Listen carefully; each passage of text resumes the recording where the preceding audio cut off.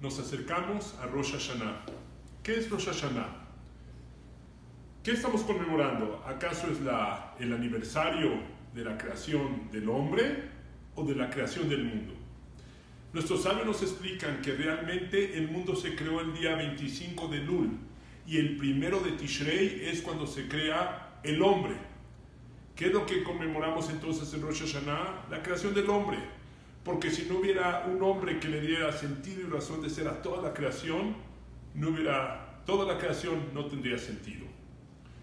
Y por eso es que este día es un día tan especial. Y el hombre fue creado solo.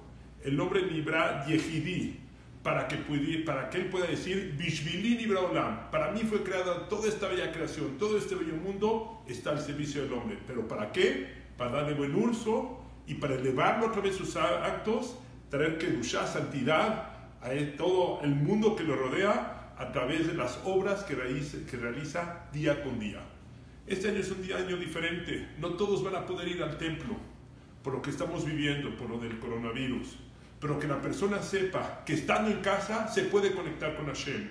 Puede elevarse espiritualmente hablando y también puede justificar a la creación cuando da lo mejor de sí mismo y trata de ser la mejor versión de su persona. Que tengamos todos un año lleno de salud, alegrías, bendiciones y que a raíz de que todos hagamos nuestro mejor esfuerzo, podamos traer luz a este mundo, luz a esta creación, refuash y todas las bendiciones, salud y alegrías, siempre reunidos y rodeados de nuestros seres queridos.